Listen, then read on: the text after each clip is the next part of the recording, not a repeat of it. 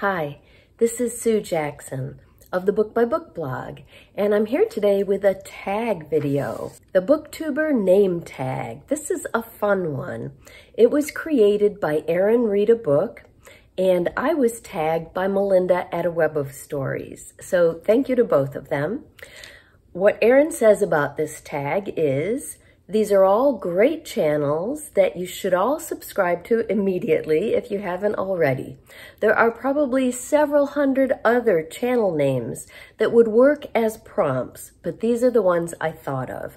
So what he's done is taken some of the clever, fun booktube channel names and turned those into a prompt for the tag.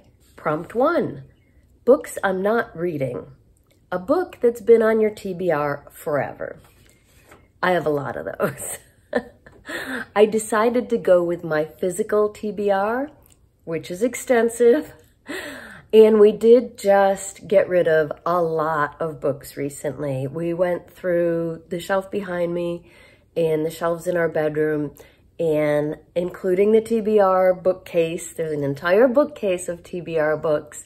And I did get rid of some of the older ones that I've been meaning to read forever, there are just too many books. and I know I won't get to all of them, so I did get rid of some. But this for this question, this is what stood out to me. The People in the Trees by Hanya Yanagihara. Now, most people know her as the author of A Little Life, but I believe this novel came out before that I don't know, maybe this was even her first novel. It is my mother's favorite book of all time. And she's the one that gave this to me. I don't know, probably almost 10 years ago now. I know, I feel horribly guilty about this. I put it at the top of my stack. I meant to get to it before Big Book Summer started. It's not a big book. Um, and I didn't. I will read this. I am pledging to you now, I will read this book before the end of the year. Okay, prompt two, novel idea. A book with an interesting premise or plot device. Okay, I thought this one was on the shelf behind me. I forgot to pull it ahead of time. Homegoing by Yaa Gyasi. The unique thing about this book is that it follows eight generations of two branches of a family. Now, it's not a very big book. So the way the author does this is that each chapter focuses on one character's life. And as you go through the book, you move from one generation to the next, looking at a different character, sometimes even skipping a generation. So, um, when I started it, I wasn't sure what to think because I thought I'm not going to get to know these characters well enough. But she is an amazing writer and you do get to know the characters well. Um, until I recently read Lonesome Dove, this was my number one book of the year. So it's a very close second um, and definitely a unique premise that is beautifully executed. Prompt three, Revenant Reads, a book where someone has returned from the dead. So I actually really like books that feature ghosts. So I'm, I'm taking this to include ghosts or spirits because I don't read zombie books. Um, so I actually read quite a few of those and I was looking at some of the ones I've enjoyed in the past.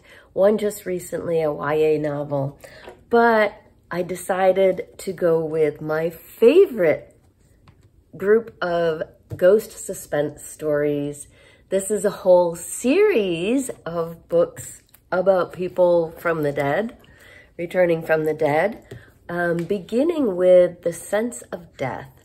The series is by Matty Dalrymple. It's called the Ann Kinnear Suspense Series. These are fabulous mystery thrillers. But the trick is that the main character, Ann Kinnear, can sense spirits and communicate with them. So in each case, she solves a mystery or more um, by communicating with the spirit. I love these books. They're, they're actually by a local author. I met her at a signing at our local bookstore. And once I read that first one, I was hooked. I've read these four. Um, my husband likes the series too. He's read the first three. I had to pull the fourth off of his TBR shelf. Prompt four, CriminOlly, a book where a crime takes place. I read plenty of mysteries and thrillers. That last series would apply to this as well. But um, actually for all of these prompts, I have tried to choose books that I don't hear talked about much on BookTube or elsewhere. Books that I really loved that don't get a lot of attention. So that's where I went with this. Because there were there were hundreds of different mysteries and thrillers that I could have chosen. What I chose was When She Woke by Hilary Jordan. Now, you may remember Hilary Jordan as the author of Mudbound, fabulous historical fiction. Here, this, this novel, her second, was quite different from that. It is dystopian fiction about a world, our world, but slightly in the future, a dystopian version of our world that unfortunately some of the elements in the book make it seem all too possible. And in this world, criminals, to, to ease the, uh, the strain on the prison system, criminals are, their skin is dyed a color to match their crime. And it begins with a woman named Hannah waking up in a cell. You do spend the first part of your sentence in a cell so that they can observe you and her skin is dyed red, and red is for murder. So that's where it begins, but it is a fabulous uh, dystopian thriller. So it begins with a crime, or an alleged crime. Prompt five, book time with Elvis. A book about time, time travel, or someone named Elvis. So if you watch my channel, you would probably think I chose a book about time travel because just looking, or about time, because on the shelf behind me, we've got Life After Life by Kate Atkinson. We've got Kindred by Octavia Butler. Uh, somewhere on here, The Time Traveler's Wife. Connie Willis. Right down there, blackout and all clear. I love time travel. But I went a different way with this question because last year I read a fabulous book with a main character named Elvis, and that is Rabbit Cake by Annie Hartnett. This is, Annie has a talent for writing novels that dig deep into interesting issues that everyone can relate to, difficult issues, but always with a wonderful sense of humor. So the main character here is 10-year-old Elvis. She was named after Elvis Presley because they share the same birthday. And right at the start of the novel, it's not a spoiler, right at the beginning, her mother dies. And so the book focuses on Elvis, but also her sister and her father and the way they each deal with their grief differently. It's a book about grief, but it is also hilariously funny. That's Annie Hartnett's particular talent. Prompt six, middle of the book March, your favorite book that you read in March. So I had to go back and look at my March wrap-up video. And it turned out I read a lot of good books in March, so I had trouble choosing. But I ended up going with The Invisible Girls by Sarah Thebarge. This is a memoir that was incredibly moving and, and quite unique. It was about a young white woman, the author, who went through some horrible challenges in her own life. Very, very early onset breast cancer, double mastectomy, chemo and radiation, a bad breakup during her cancer treatment. She her her life was just pretty much destroyed. And she moved from the East Coast out to Seattle or Portland. I think it was Portland. And um, she's just trying to settle in there. She's got a double degree in, in, in journalism and as a physician's assistant. So she gets a job out there. She's riding the bus one day, or the train, I think it was the train, and she meets this woman from Ghana? I might have the country wrong. If I do, I'll put it up here. Who has two little girls with her. The mother looks completely exhausted. The little girls are very playful and interested in Sarah, and she starts playing with them and talking to them. She ends up becoming friends with this mother. She's a recent immigrant. Her husband brought them over for his job and then left them. She actually has four little girls at home and she's completely on her own. She invites Sarah over to their apartment and the two women become friends and it's not hyperbole to say they each change each other's lives. So I was worried when I read the recap that this was going to be kind of a white savior thing. It's not at all.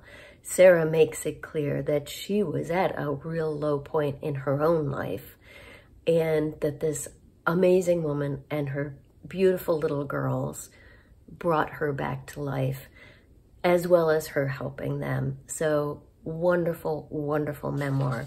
Prompt seven, Book Buds, a channel I really enjoy. A book with a great friendship. There were so many I could pick for this, but again, I tried to go for something that is lesser known, a book I really loved that I don't ever hear anyone else talking about. So I chose The Air You Breathe by Frances de Pontes Peebles. Um, this is a novel. I'm trying to think when it begins, maybe the 1950s. It's about the strong, intense, very complex friendship between two women. They meet as little girls from completely opposite places in the world, uh, figuratively. They're in the same place, literally, but the one is uh, The Little Miss of a Sugar Plantation. It's set in Brazil. The other is the daughter of the cook at the plantation. So they're starting from completely different places, but they bond over their mutual love of music, which completely shapes their lives. It is an amazing story of friendship, of music, the setting in Brazil is incredible, delving into the history, the culture, the music. Really great novel. Prompt 8, Obscure Book Adventures. A book that you love that never gets talked about. Well, that's kind of been my whole theme here, but I picked one of my all-time favorite books that I rarely hear other people talk about, and that is Hum If You Don't Know the Words by Bianca Marais. Now, the people who do know about this book are fellow Booktopians because Bianca was a, Booktop a Booktopia author guest, not once, but twice. She's an amazing writer, and this, her first book, is my favorite still. This is set in South Africa, and it, it would fit the last prompt too because it is about a very unique friendship. It's about a nine-year-old girl both of her parents have just been killed. She's a white girl. And she goes to live with her aunt who works as a flight attendant. I believe it begins in the 19, 1970s. So she goes to live with her aunt, but her aunt's traveling a lot. Um, so her aunt hires some help in the form of a black woman who is not from the city. This takes place in Johannesburg but who has come to the city searching for her teenage daughter. And so she is not, she doesn't normally work as a maid or child carer or cook, but she's taken this job so that she can stay in the city because it's apartheid and they have rules about black people from outside the city staying there. So this allows her to stay in the city. Well, she and Robin, the little girl, her name's Beauty, Beauty and Robin develop an amazing friendship. but it's about so much more than that. It is amazing historical fiction about what's happening in South Africa at that time. It is a mystery about what happened to Beauty's daughter and her quest to find her. Um, it is very, very funny. Robin is a very precocious narrator. Um, and the things that adults say that she doesn't understand is a big source of humor here and just delightful. Fabulous book. Needs more attention. Prompt 9, Savage Reads, a book with a monster or beast or human acting monstrous or beastly. So um, this book is not little known. I'm sure lots of you have read it. Um, but I don't read much fantasy. So I don't read much that features monsters or beasts. So I went with Human Beasts. In the Garden of Beasts, it's right there in the title, by Erik Larson. This is about this is about the American ambassador to Germany who moved there with his family in the late 1930s just as Hitler was beginning to rise in power. So obviously, Hitler himself was a beast, but there are plenty of other people in this book acting beastly and in horrific ways. Um, excellent book, by the way. I love Erik Larson. Prompt 10, a book that fits your own channel name or the name of a channel that you love. Well, my own channel name is kind of boring. Sue Jackson, it's my name. Not a lot of books that go with that. Um, I named it that way, by the way, because I cover more than just books on my channel. I could have come up with something clever and bookish, but that wouldn't have made sense for the rest of my channel, which includes travel, the outdoors, chronic illness. So, right, so I went with just my name. So I chose Miss Reads a Lot one of the first channels I discovered on BookTube and still one of my favorites. And I thought this was perfect as a prompt here. Miss reads a lot. And the book I chose to fit that is Why We Read on Bookworms, Libraries, and Just One More Page Before Lights Out by Shannon Reed. I read this one on Kindle earlier this year. Shannon was a Booktopia author this year. Um, it is a nonfiction memoir all about reading. Not only her own personal reading life, but all of her years as a teacher, teaching high school literature, college literature, and creative writing. And um, it's a fabulous book. It is definitely about a woman who reads a lot and just filled with humor. Any book lover would relate to this. And finally, Prompt 11, tag some other booktubers. So keeping with this theme of the little known, I went with some new booktubers or new-ish. These are all booktubers who I've discovered this summer because they've joined my Big Book Summer Challenge, which is still going on for another month, by the way. And I've enjoyed discovering their channels, and I hope you will too. Um, some of them are very new to BookTube. Others have been at it um, for a while, but none of them I don't think has, has been on BookTube for a full year yet. So I am tagging Luke at Reading and Rambling. Luke literally just started his BookTube channel, so please go check it out. Jon's book reviews. Jon is located in Nigeria and he has very broad reading tastes. He reads in English, so many of the books that he reads are familiar, um, but I've really been enjoying his videos. Jay of Windhill Journal. Jay is located in Ontario. I just discovered his channel this week um, when he was talking about Big Book Summer. His channel features not only books and bookstores, but also nature, which I loved. I complimented him on that. And he actually told me that my channel was his inspiration for that. So I was very flattered by that. And finally, Nicky at My Messy Bookshelf. Nicky's been at BookTube a little longer than the others, but she's still relatively new and definitely I would love for you to go check out her channel as well. And finally, let me know in the comments down below if the title of your channel would work as a prompt or if you have an answer to any one of these questions or if you would just like to share a book that you don't think gets talked about much that you love.